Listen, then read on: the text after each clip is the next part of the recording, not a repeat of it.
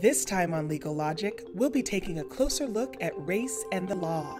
The founders of this country made a commitment to establishing a government that would guarantee to all individuals the rule of law and security for liberty under the law. As the country we live in is only getting more diverse, how do we ensure that the safety provided by our legal system and courts of law is available and equitable for all? Hello and welcome to Legal Logic. I'm Bonnie Richardson and I'll be hosting today's program. Today we'll be discussing race and the law, and I'm joined by several members of Oregon's legal community who bring a wealth of firsthand knowledge about the topic with them. First, I'd like to introduce Judge Adrian Nelson, Multnomah County Circuit Court Judge. And over here to my left is Simon Wong, He's the Deputy City Attorney for Portland. He's also the past president of Oregon Asian Pacific American Bar Association. And finally, Ramon Pagan, attorney and president of the Oregon Hispanic Bar Association. Thank you all for joining us today. My pleasure. So I want to start by first asking you, Simon, um, why, why is it that we're still dealing with race and our justice system today? Well, um, first, before I say anything, I do have to give a disclaimer. Uh, even though I'm a deputy city attorney, I'm not here on behalf of the city attorney's office or the city of Portland, and my views are my personal views alone. Um, with respect to race, uh, I think I don't think we have to go any further back than uh, a couple months ago in Ferguson and what happened to realize that it's still a very visceral and very important topic and that uh, there are great inequities that still exist in both society and also in the justice system.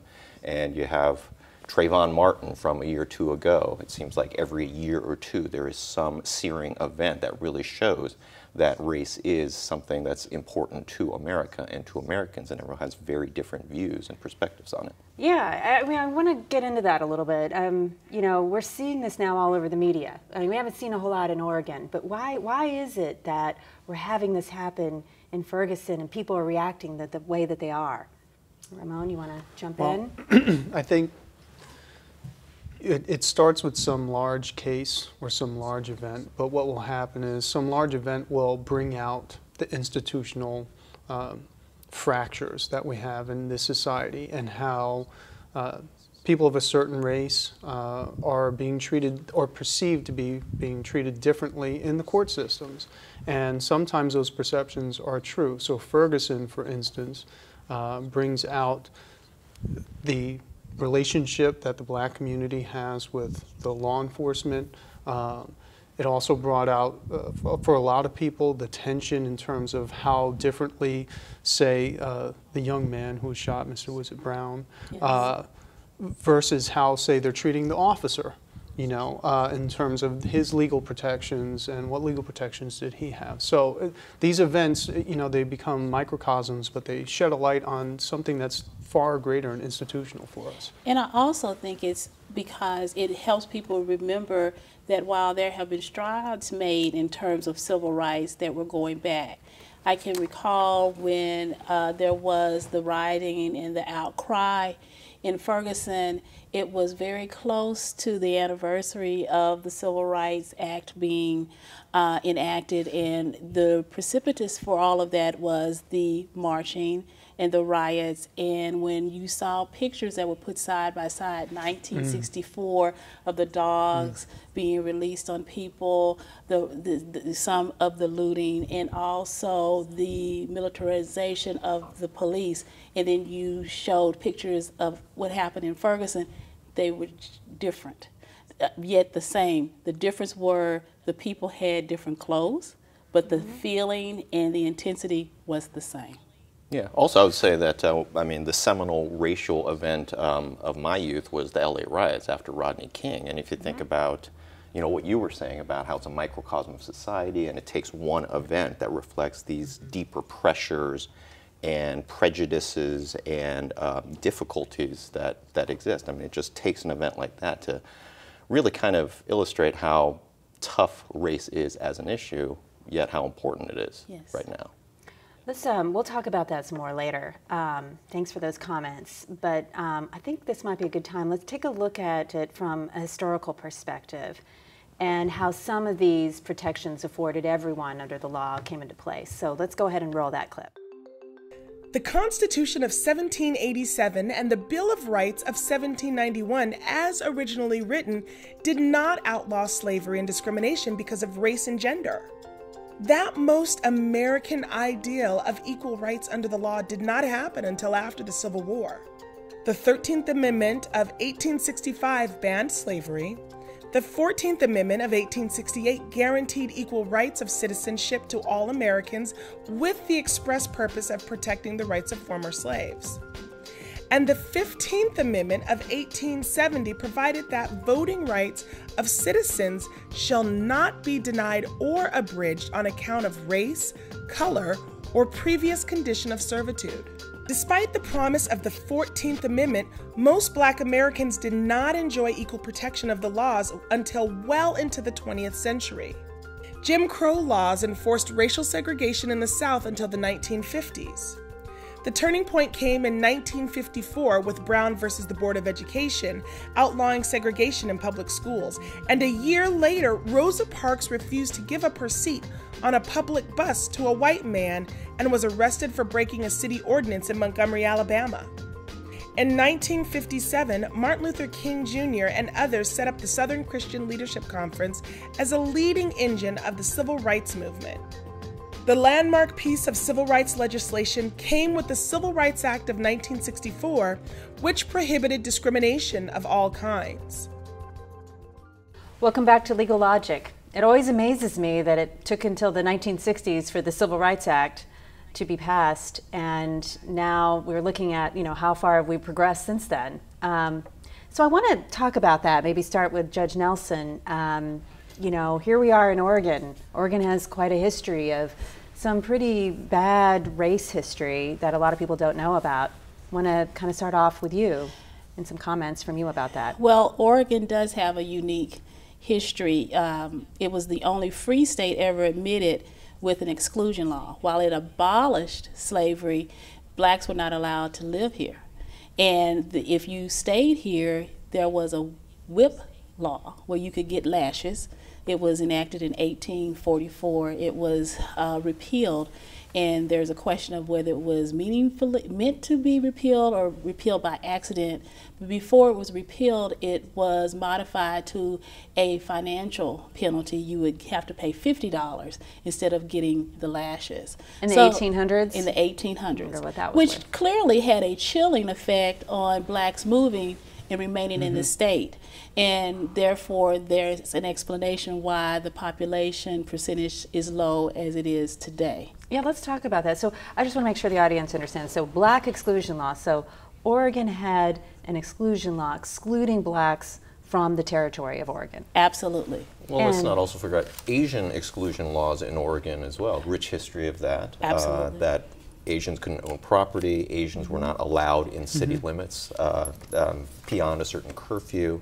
Um, and of course, there was uh, the internment during World War II. I mean, mm-hmm. you have this type of behavior from like decades ago, and I think you still see some of the effects really even today. I mean, Portland's a pretty white place compared to our neighbors to the north and our neighbors to the south, Seattle and San Francisco. And it's like they are much more diverse. They didn't have those kind of exclusion laws. And um, it's one of the explanations, I think, for why we still remain a relatively white mid sized city.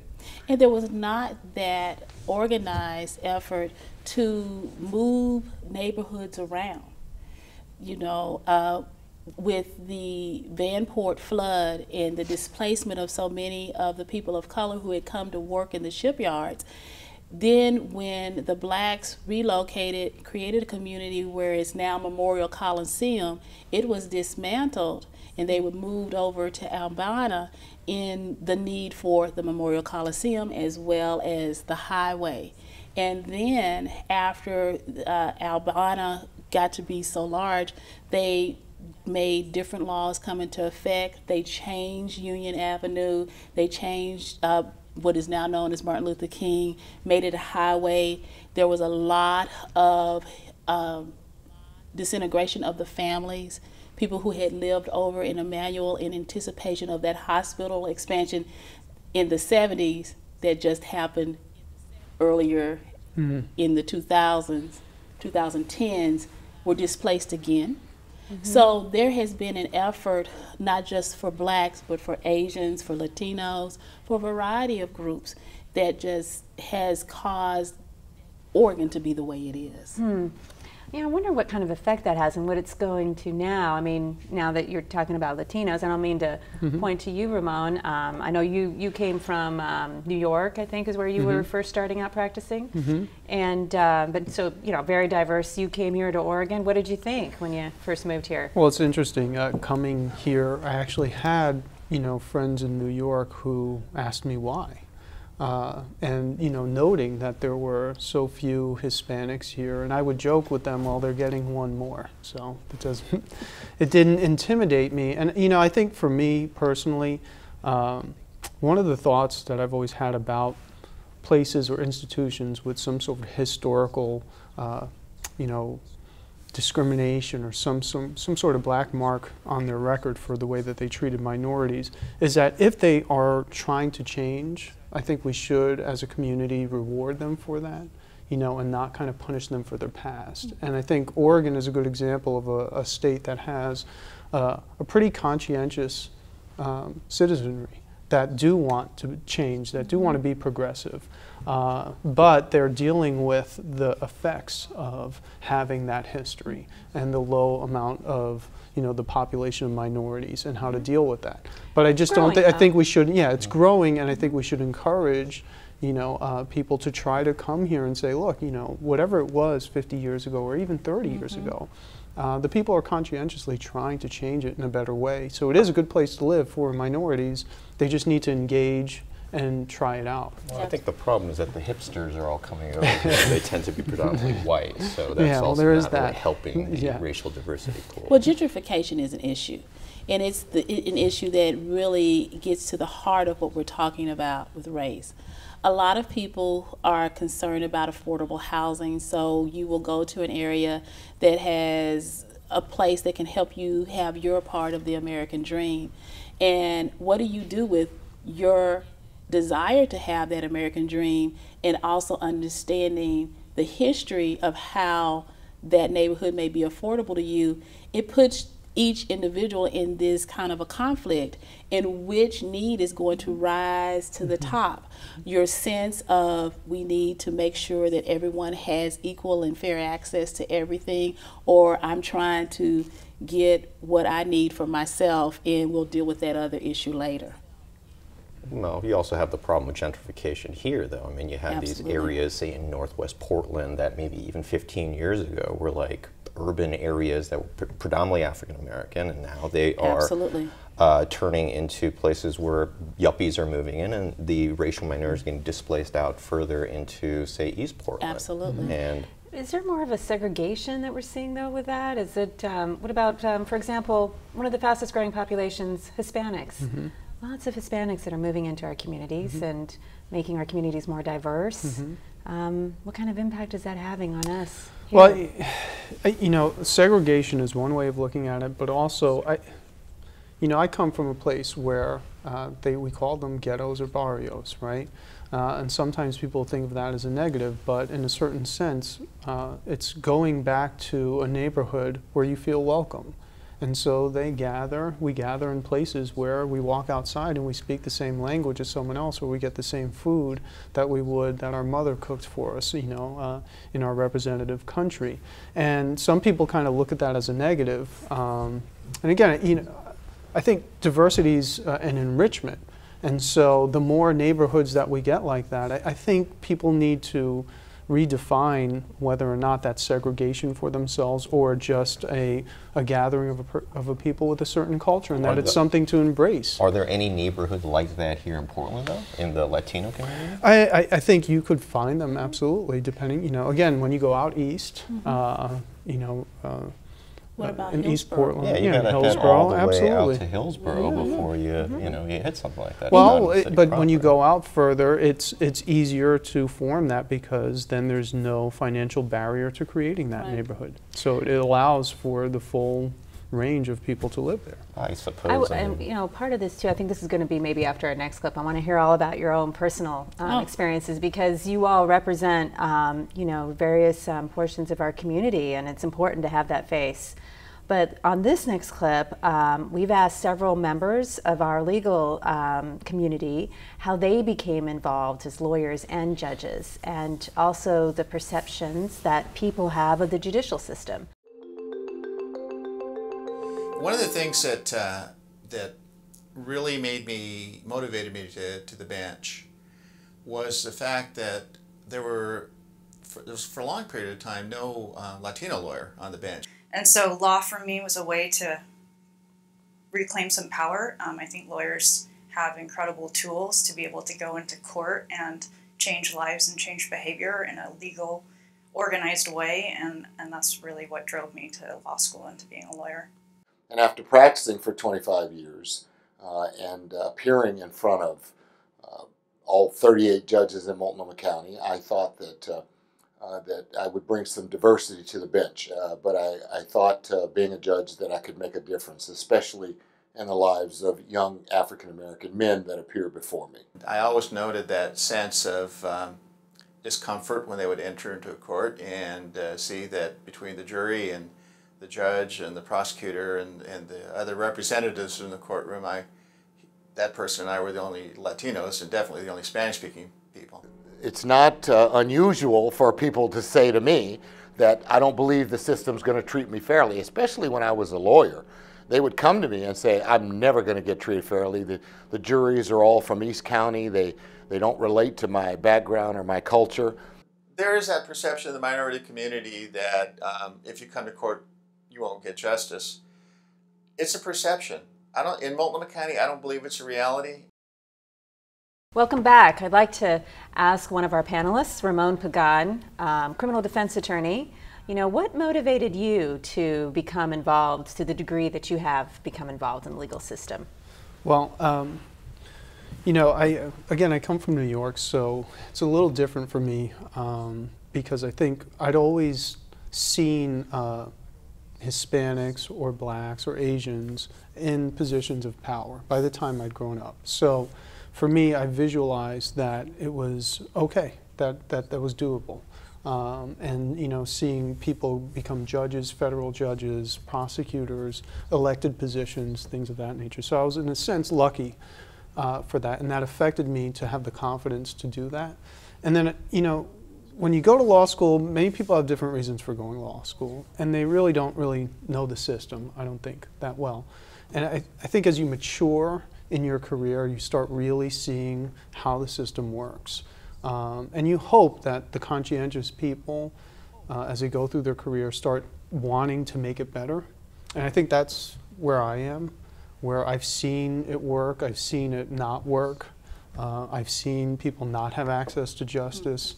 Uh, I've seen people have more access than maybe they deserved, depending on how much money they had.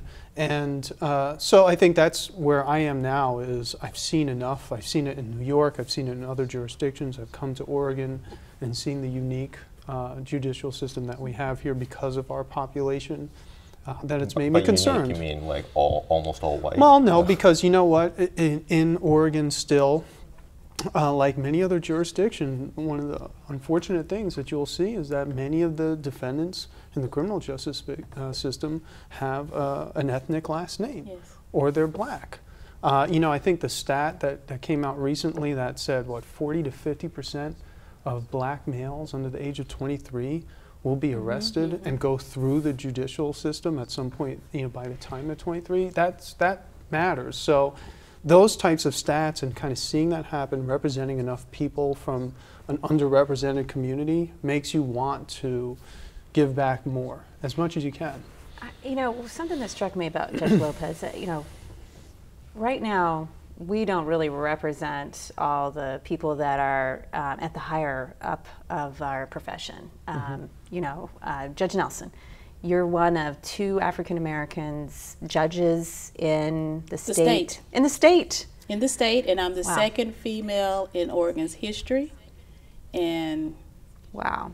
Yes. And it's you're a sobering statistic when I tell it to people. They Yes. look around and say, Really? Second black female. The second black female in the history. Yeah. And, and, so, you know, what does that what does that do for people that come into your courtroom? Now, now you come across very, you know, you're you have a very nice, warm, welcoming, um, you know, but you're a person of color. Um, how does that impact a person that walks into the system? They look around, everyone around them is white, but they see you up there. I mean, how, how do you think that impacts? I've had a number of people tell me that it makes a difference. And I feel that my courtroom does feel differently. Um, my courtroom is very vibrant with the type of art that I have from the Public Arts Collection through the Regional Arts and Cultural Com Commission. It talks about social issues. I don't shy away from it. I'm an African American woman from the South who has an accent. So we can't act as if that I'm something that I'm not. Not that I want to. I embrace it.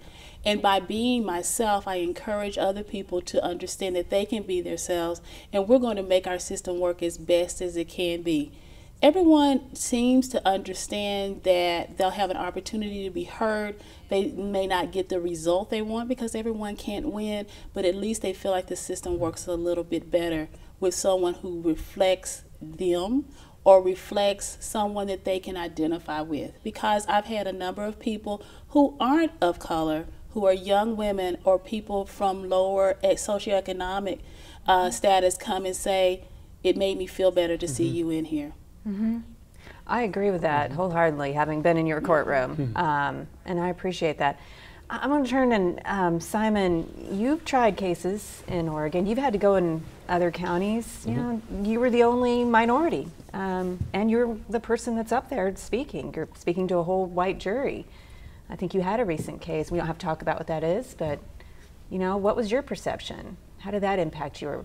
It was very different. I mean, when I was a prosecutor in Manhattan, where it was a very diverse, uh, well, everything, juries and um, and population, then and office and office, yeah, race didn't. Um, really, race didn't really seem to matter so much, except for if it was, you know, um, they're making an allegation that you are striking the blacks from the jurors, something called a Batson challenge. Like if that that was where it might come into play. That's um, unconstitutional too. Yes, it yes. is. Mm -hmm. Yeah, um, but. Uh, but race was kind of always all around in a sense. I mean, it, it reflected into, say, um, the skepticism uh, that uh, juries would have against police because there was several uh, misconduct, like really severe misconduct by, by police officers and becomes a black and white issue.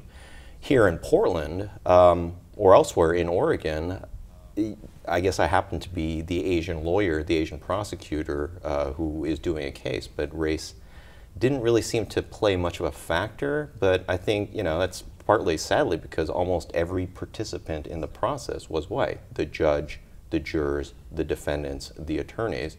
And so, to the extent that it had any bearing whatsoever. It's just kind of a, you notice that there is someone of color on the jury, but doesn't really become anything that's too much of an issue. So, uh, maybe to wrap this up about access to justice, I mean, what can we do to make sure that there's more access to justice? You, we've heard about how you can make your courtroom more welcoming to everyone of all socioeconomic classes. Um, what are some of the things that lawyers well, we want do? people, what, what lawyers can do is what the citizens can do, and that's come to the courthouse when you receive your jury summons and serve. Mm-hmm. It is really important that juries are as reflective of the community as possible because jury verdicts make a difference to lawyers. It affects how you assess a case, it affects maybe how the strategy you use, and it also affects settlement of mm-hmm. cases mm-hmm. and how mm-hmm. cases are resolved. So the more diverse uh, voices, the better.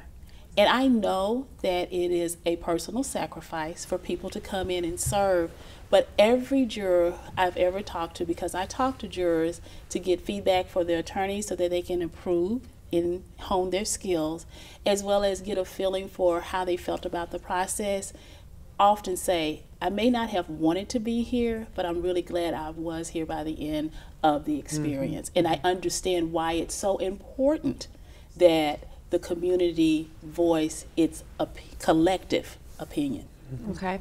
So, um, yeah, I mean, we'll talk a lot more about juries here in a minute. I think there's another clip we'll watch on that. But, you know, just by having the jury system in place, that gives people access to justice. So it's not just one person making a decision, it's a group of people from our community. Um, so it seems that there are systems in place to ensure people have access to justice. However, there's some very alarming statistics out there about the percentages, I think uh, Ramon was mentioning this, of racial and ethnic minorities in the criminal justice system. So let's roll through this clip and uh, then we'll talk about some of our thoughts on this subject.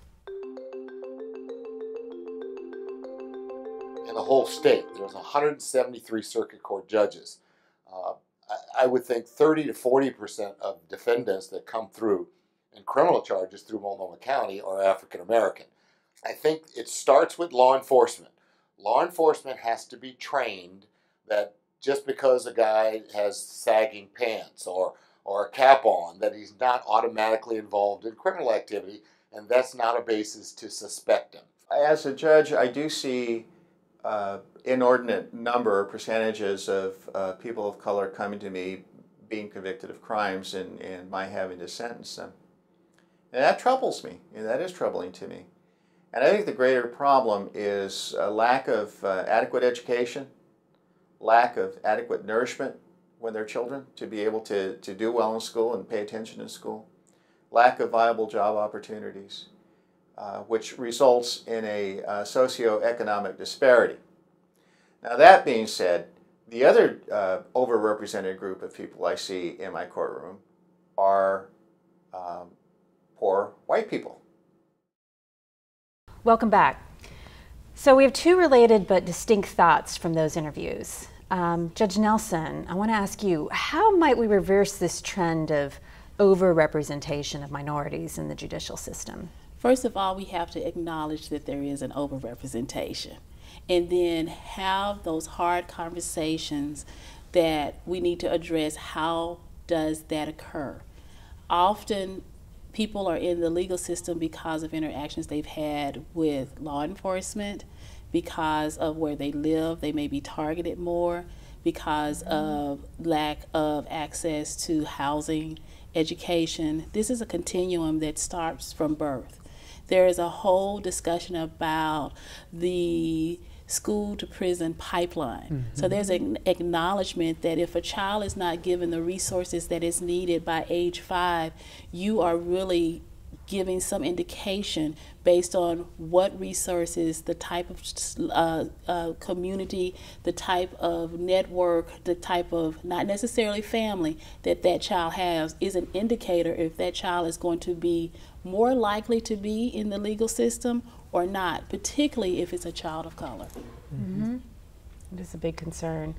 Um, Ramon, I mean, how do, what do you feel about this, given your experience? Um, I mean, you know, um, I, I, think we have to re-examine also uh, a lot of, uh, you know, I, I, think we have to re-examine the drug war too, mm-hmm. and the the effect of the drug war on the minority populations. It, it becomes kind of a a self-fulfilling cycle where you know they they say that the black neighborhood or the Hispanic neighborhood is an area of high crime, so they send more cops, so they find more people with drugs on them, and so there's more crime, so they can say it's a high crime neighborhood. And, but the statistics show that the percentage of use amongst you know spread across the races is static.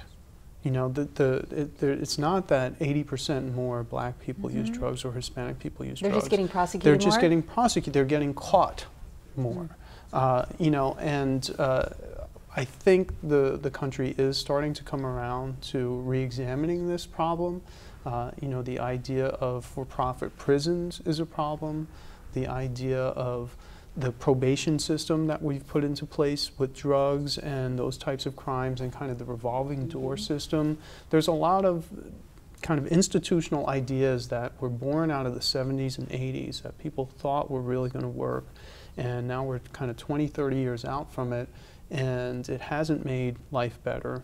Um, and it has destroyed neighborhoods. It's destroyed whole communities. Um, and so I think the cost benefit analysis for those types of you know mandatory minimums for drugs and, and you know first mm-hmm. offense things of that nature need to be seriously re-examined. And it has a huge effect when you know you're a, a person of color and your father's 28 years old and he gets caught with a drug and gets a mandatory minimum that puts him in for five years or something like that. And now you've you know completely destroyed that family in terms of now it's a single mother, now the child doesn't have a father, the financial resources are lower, etc. So I, I think there's a, a, lot of institutional ideas that need to be reexamined uh, across you know, the nation. do that through the legislature, or you know, is that probably the best way? I mean, you know, how do we do that through the court system? Well, through the court system, I, you know, that's it's a little more difficult, but I think people need to understand that that's why that's happening. And through the court system, it specifically, I think it's law enforcement uh, is, is actually the idea. Yeah, well, you know, the judges are doing their job. The other thing in the court system, we need more diversity on the mm-hmm. bench. We need more diversity at the prosecutor's office. Uh, you know, we need, if you're going to be in a position of authority with uh, and affecting multiple types of communities, I think as an office, uh, if you're, you know, the elected prosecutor or as judges, we need to look at diversity as a qualification for those jobs. We need to have judges who can relate mm-hmm. to people of different color. That's a qualification. That's an enrichment of our judiciary um, when they're thinking about sentencing, when they're thinking about whether or not they would give someone probation instead or not. Uh, and likewise, at prosecutors' offices and law enforcement, we need more diversity so that those people can relate to the people that they actually are serving or representing.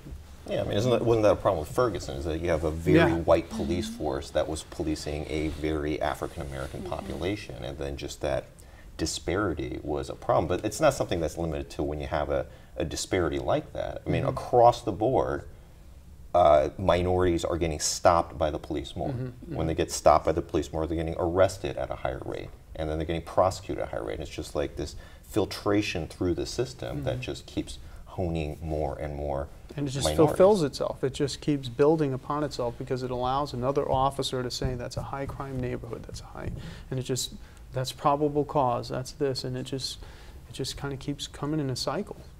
Yeah. But the law is a tool, just as we saw with uh, the Civil Rights Act as legislation, and then with Brown versus Board of Education, all of these work together to address the issues. I mean, I can tell you that some people probably can't even imagine that there's discrimination today, depending on where they live. Other people know acutely that there is discrimination mm-hmm. and it's not been that much movement. But the more that we are able to educate one another by talking to one another, by explaining history, by putting things in context. It gives more of us information that we can then assess when things are happening. I just saw it happen in a trial that I had today. And it was an interesting conversation that, to, to watch as they were selecting a jury about how race was possibly a factor in mm-hmm. someone being pulled over and how they may interact with the police because of how they feel that they're going to be mm-hmm. perceived or how mm-hmm. they're actually being perceived and would that affect how they would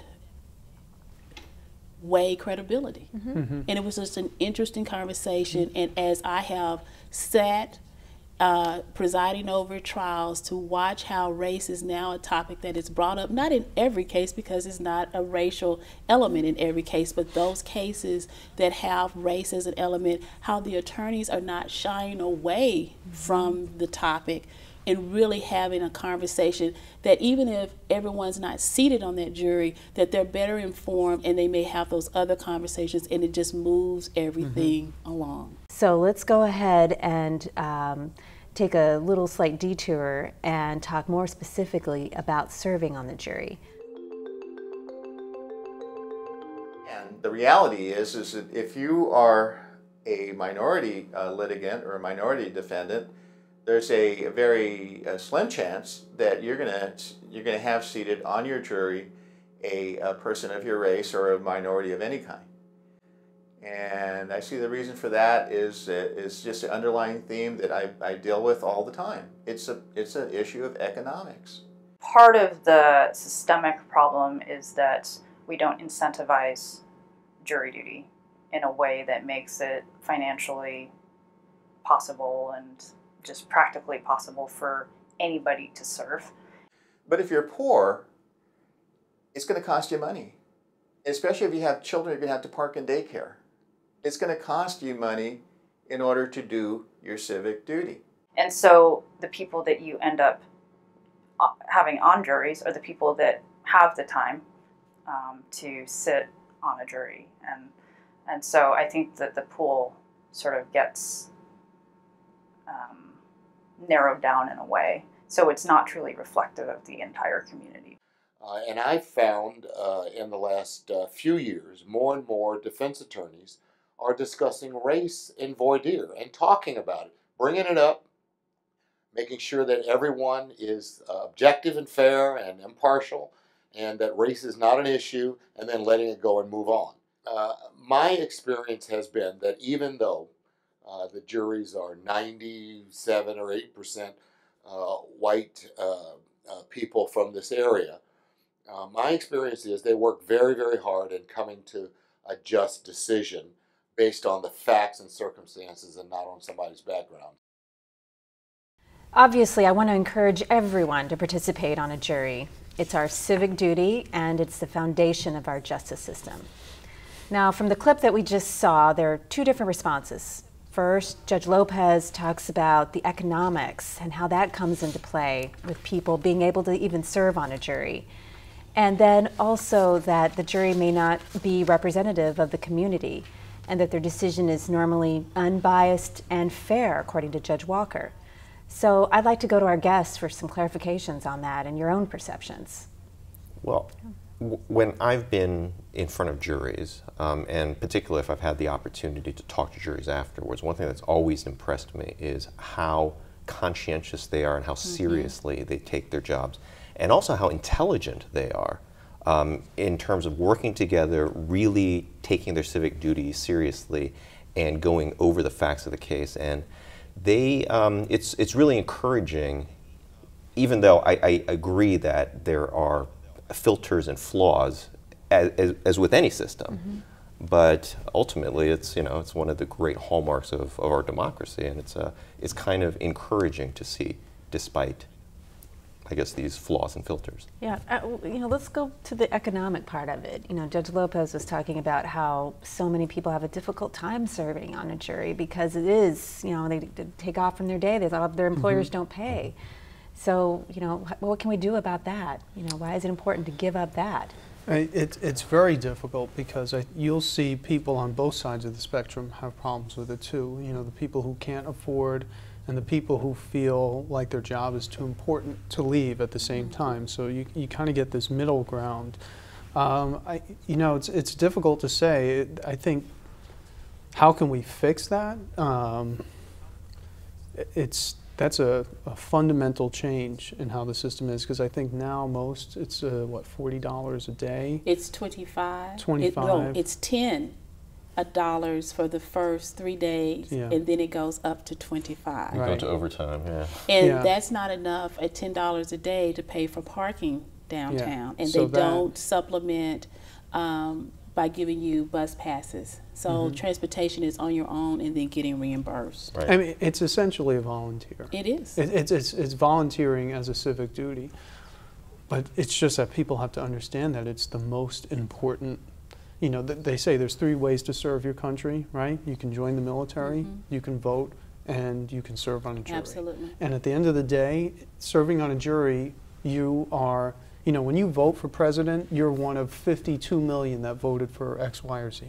When you're on a jury, you're one of 12. You're, it's the most important voice that you'll have as a citizen at that point, the strongest mm-hmm. voice that you'll have by putting in a vote. Uh, so people have to understand that, you know, if you really want your community to be better, you know, you have to go for, you have to volunteer to do that jury duty. It's tough. But again, I think as Simon was saying, you know, you it's so engaging. It is. It's so interesting. It's challenging.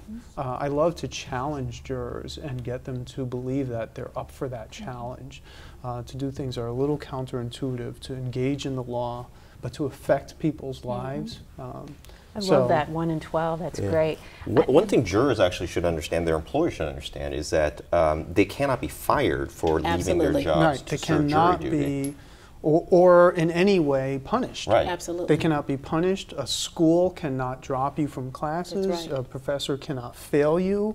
Uh, you can you cannot suffer consequences for doing jury duty. And the way we have it set up in Multnomah County, people get a jury summons that's for two days, or in an asterisk, a jury trial, whichever is longer. But most of the time, people serve one to two days, um, and then they're not called for a number of years. And I find that jurors don't have a problem serving on short juries. And then it is more difficult for the longer terms, week, multiple weeks, even months long trials. But you can find those people. There are more employers that pay up to 10 days a year for jury duty, but after that, the pool gets smaller and smaller. Another question I have too, along that same lines, is what happens if you you don't speak it? It's not your first language. You're a citizen. You're a citizen of the United States. You're entitled to serve on the jury, but it's not your English may not be your your first language. You know, should you still serve on a jury? Yes. Yes. Well, it depends on how yes. bad your English is. If you can't understand the proceedings, Well, then no. but often people have been here, for, and, and that's a that's a that's a question that you would assess with, With the, the judge. counsel and the judge. Mm-hmm. Now, yes, if someone is new to the country and they don't navigate the system well, and they're not going to be able to understand and fully understand the evidence and fully participate in the deliberations, yes. But if you've been in a country for decades, then you're probably not going to get excused from jury service. Just because you have a Just thick accent. you have or a something. thick accent. Yeah, Yeah, I mean, don't you see that too with mm-hmm. people? You know, I, I, I have a mother who uh, is, uh, became a citizen only 10 years ago. So when she came here, a lot of people didn't think she understood, but she actually did. Just because she couldn't speak it well doesn't mean she couldn't understand. So, So I would say it's a case by case basis. And it's extremely important to do it because Absolutely. you don't want you know you have to think in the, in the justice system there are civil and criminal cases right and so you have people whose lives are being affected in both realms. And many of those people are minorities. And to have them be predominantly not judged by their peers necessarily but just by uh, the majority as it were uh, it has a negative effect because they can't relate to what motivated them for whatever decisions that issue, um, some of their thought processes, uh, some of their cultural issues that might be off-putting for someone who's not familiar with that. But so it's extremely important for minorities to engage in the jury system. Well, it might be important, but how do you actually get the individual minority to do it? Like my wife is Korean Japanese. Uh, she's a citizen, but she doesn't want to serve on a jury. She feels her language skills aren't strong enough, even though she and I converse in English. But um, it's that's, just But I'm going to say that's on her husband to encourage her to do so. But it's also how she's going to feel if she's called for a jury and, and the experience she's having during the jury panel. Right. Uh, I feel like I'm in a unique position because I actually sat on a jury about two years ago. really, I You- served. you actually- I was sat you. on a jury, a civil case, and I ended up being foreperson. of course you were. wow. no, but it, I'm it- I ended up being foreperson because I was told by my fellow jurors that was going to happen. I was kind of delayed getting in. I was the last, next to the last one, and they said you're the foreperson, and I said under certain conditions, and it was a wonderful experience. It confirmed everything that I believed about our legal system, the uh, importance of juries, the confidence I had in the jury deliberation process, and it was something I could check off my bucket list as well because I know that is never going to happen again. yeah, no, I never I hope it does. I hope it does. It was a wonderful experience. I'm sure. So, what I want to say to everyone out there is hopefully the next time you receive a juror summons and you're eligible to participate, we hope that you'll go and exercise your civic duty. I think we should take a look at probably a whole other aspect of race and law now. Um, let's talk about the legal profession itself. Um, so let's roll our final clip.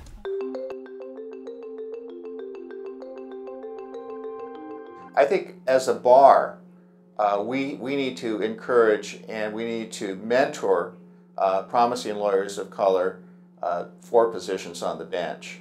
Most people think of a judge, they think of, you know, an older white male in a robe. Um, and they think of a very traditional path to get there, you know, partner in a law firm or a longtime DA. But I think the lens needs to be different in terms of what qualities can make a good judge um, and what qualities do we want to see in the people that are deciding our disputes. As this country grows more diverse, I think it's going to be more important than ever that we add uh, ethnic uh, backgrounds to the judiciary, to the police department. I mean, as you can see, uh, the recent developments uh, in Ferguson, where the police department is 54 members and only three African American members, and the community is 60% African American that's going to create an automatic conflict in the community. It is incredibly important that, uh, that we um, seek out good people of color to fill these seats and these positions. Uh, I would also extend that to our legislature and to our city council. Um, cultivating the minority community that we have now and making sure that they're getting to positions of influence and power getting to the bench so that people can see them, so that they're visible, so that people can say, you know, they look like me and I can do that. Um, I think that's really important. It should be in high school. People should be, I think, thinking about uh, a legal career, either as a police officer or, or an attorney or a judge. I think we have to get people real early thinking about becoming involved in the system. So I saw a statistic the other day that by 2050, this country was going to be mostly a majority of people of color. Uh, and that's going to create quite a, a new look to America, and I think we need to be ready for that. And we need to start right now in the grammar schools. Having a diverse legal community is, it does bring legitimacy to our system. It makes our system better. I think we have a great system, but there's always room for improvement. As these cases are coming into court and the law is being interpreted, it's being interpreted through a social lens and a social context and, and I think that that needs to be reflective of what society really looks like in order to achieve a just result. Welcome back. Well, there seems to be two strands here from the comments. First, encouraging people from all backgrounds to consider the law as a profession, and second, increasing the diversity on our bench. And I'd like to find out what you think about diversity on the bench, diversity in our profession. Well, first of all, there's not enough diversity in the bench or diversity in our professions in Oregon. You're not going to get more diversity on the bench unless you have more diversity mm -hmm. among the lawyers. And there are certain programs in place, like uh, Portland State University has something called the Explore the Law mm -hmm. program. So they have uh, undergraduates that might have not been exposed to lawyers, uh, undergraduates of color who mm -hmm. might be the first student that has mm -hmm. gone to college in their family, and uh, the idea of becoming a lawyer seems like unfathomable to them. And so there's an encouragement to show them that lawyers are actual real people and to mentor them mm -hmm. and to bring them up and to encourage them to actually go into the law so they can bring back some of the power that lawyers can, can, can yield. Um, or Oregon State Bar has the OLIO, the Opportunities of Law in Oregon program, which mm -hmm. uh, mm-hmm. traditionally was for racial minorities, but now has opened up to people who are from mm -hmm. diverse backgrounds. So, uh, regardless of your race, if you're the first person that has ever gone to college, or if you come from a different socioeconomic background, then uh, that's something that's considered as well, just to help diversity right. all across the board. Um, Simon, I mean, do you think that's helped you? Um, you know, you're a big leader in our community. Has that were you influenced by some of those programs? No, no, because I went to law school in New York. But you've um, come back now and you teach at those programs. Uh, right? Don't you inspire others? I, I seriously doubt he that. I'm only I'm only there to entertain. He's I'm not really there humble. to. He's but but but also you know there are one of the things that we are trying to do too, because you know Simon and I uh, have worked in the special what we call the mm -hmm. specialty mm -hmm. bars or the minority bars, is we also try to recruit uh, students from other states. You know, when you live in New York, like you know, or Simon who went to school in New York, it is so diverse that you almost don't think about it. And if you're a person of color and you were applying to a school there, you almost don't. It doesn't affect you because you're going to see many people, and it'll be representative of the population span. And then you come to Oregon and you hear these kind of stories. And we, you know, you can't change it unless you change it, right? You can't, it, it's so we need people who are willing to encourage people of diverse backgrounds to come here because it is a great place to live. It is a great place to practice. There are people that will welcome them into the Yes. practice. And there are some diverse background judges. We do need more, but it, it is an effort. It's an effort like doing the PSU, like Olio, Yeah, uh, like actually, I've actually been on the phone with uh, potential law students who had been mm-hmm. admitted to a mm-hmm. law school here mm-hmm. from another state with a diverse background to try to encourage them, you know, because I came from another state. So there, there is a lot of work to do There with is. that. And also, even younger than college, there are a number of programs to encourage students of color to consider law Mm-hmm. as a potential career path. They can be involved through the Classroom Law Project Mm-hmm. in their various mock trials to try it on, if you will, to see the debate. constitutional Yeah, And- debate and- program. and- and- we have and- national champions. and see if us. that's something that you're skilled in.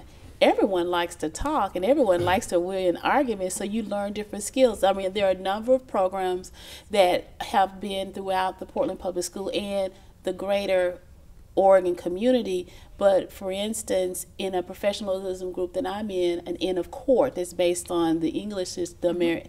the English system, we have adopted Jefferson High School and we have a mock trial program there. There's one at Franklin. There are at other schools that are not traditionally one of those elite schools where mm-hmm. you mm-hmm. cannot it's where you can have the same access as other students. And I think that that opens it up. Exposure is a huge factor as well as seeing someone who looks like you.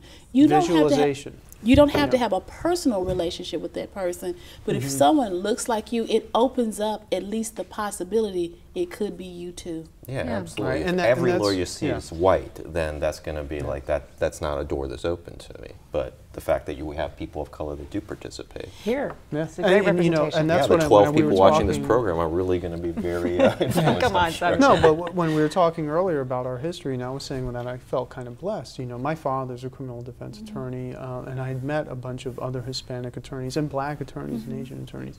And then, so I, I now I think coming to Oregon, I've realized that they're not, they don't really have that here as much.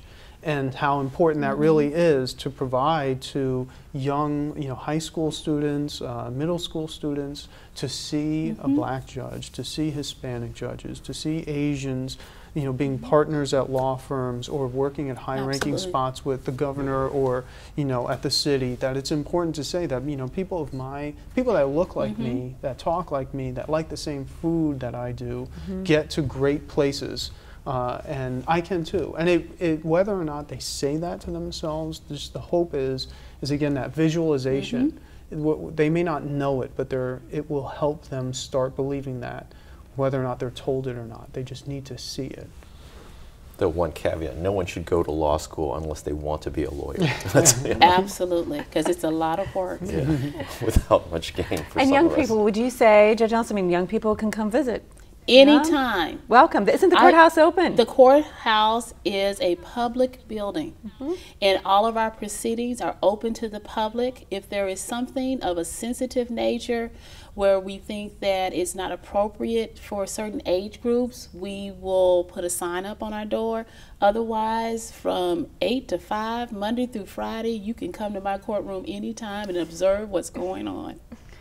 Well, I just think it's really important for us to say that not every person of color who's a lawyer or every person of color who's a legal professional may feel that they want to give back or give of themselves because they're managing their own individual lives, which can be a handful for all of us anyway. But those of us who are around the table that want to give and will give, those are the people you access. And it's not because they're trying to further their careers or have someone necessarily think that they're great or not. It's because we believe in the greater good. And we're mm-hmm. trying to make this Portland, Oregon better. Yes. Mm-hmm. Mm-hmm. Yes, I agree. So I know we've tried to cover a lot of ground today in our discussions, but I'd like to ask each of our panelists what their hopes are for the future. Um, kind of segueing into that now. Um, so maybe Simon, start with you. Um, what's your hope for the future? You know, you just hope things are going to get better. I mean, I think despite the fact that we have problems and we're not there yet, you see through history it's just an incremental betterment. I mean, I, I, don't think there's a greater illustration of that in what's happening in uh, gender equality right now. Mm-hmm, mm-hmm. Um, and, uh, you know, there is this backlash, and that's always going to be, that uh, minorities giving special treatment or that the, you know, the whites are being, you know, kind of hunted down or something like that. And it's like, you just hope that the Enlightenment, where we have an understanding that we get enriched by diversity, is something that that pervades society. But you know, maybe that's idealistic, but that's what I hope. Well, you got to have that. Mm-hmm. Absolutely. And, and, and, you know, I think I, I, the hope for the future is I, I feel like the news. You know, we've reached that 50-year mark uh, from the civil rights legislation. 50 years this year. And mm-hmm. it's there's a sense that things have changed uh, in in the public discourse uh, in terms of the tolerance for hate has gone down drastically in our mm-hmm. country. And, um, you know, and I think the discussion about the effect of the drug war, I, am seeing things that I feel like I'm latching onto as positive. That people are talking about mm-hmm. the sentencing guidelines, they're talking about the drug war. Uh, they're talking, the gender equality is a domino that's, that's just gone, you know, it, it looks like it's absolutely inevitable uh, in terms of same-sex marriage, for instance. And so that's the next civil rights movement, right? And it, I, it really is. And I just I'm very hopeful that I that some changes are made. Um, and that you know this, the discourse changes to where again I think as you were you were saying Simon that diversity is an enrichment it's a qualification it, it, it makes it makes our institutions better. It makes our cities better. Mm -hmm. It makes our food better. It makes the things that we enjoy better. It does. It makes it makes our art better, and uh, and people need to see that. That's it. Shouldn't just be for uh, the things that you find interesting in life. It should be diversity should be in every part of our institution, so that it, it has a, a, holistic effect for all of us. So I, I'm hopeful for that, though. I think one day at a time, but it's I think it's going in the right direction. And, and I too am hopeful as I do a variety of, of professional activities. Most recently, I served on uh, American Bar Association Commission on Disability Rights, where I educated myself about a whole nother area of uh, people who have been disenfranchised mm-hmm. and, and, and how inspired I am by mm. the strength in their uh, tenacity to move forward in a lot of insurmountable odds. I see the commonalities as different groups throughout the year, our history mm-hmm. have been that's the issue on women. This is the issue on blacks that may encompass other areas. Mm-hmm. This this is immigration. This mm-hmm. is same sex. When we realize that we are more the same than different, and that the differences are an enhancement, it's an enrichment, and that we all are working toward the same goal, that we can make this a better place. And also acknowledging that we understand that the legal system is not without its flaws. Mm-hmm. It's imperfect, but it's the best legal system in the world, and we need to work together to improve it. Mm. Thank you. Thank you all for your insights and for sharing your experiences with us today. It's very much appreciated. Um, well, we've still got plenty to discuss, but we must draw to a close. So I want to thank my guests once again. Um, yes, we have come a long way, but in order for our legal system to be truly reflective of the communities they serve, we must encourage diversity and engage people in our legal system. Our nation is only going to grow more diverse, and now it is more important than ever that we inspire each other to build a system that embodies these principles. In essence, and I'm going to take these words from Judge Nelson, mm-hmm. a more inclusive, a more just, and a more perfect union. I'm Bonnie Richardson. Thank you for watching Legal Logic.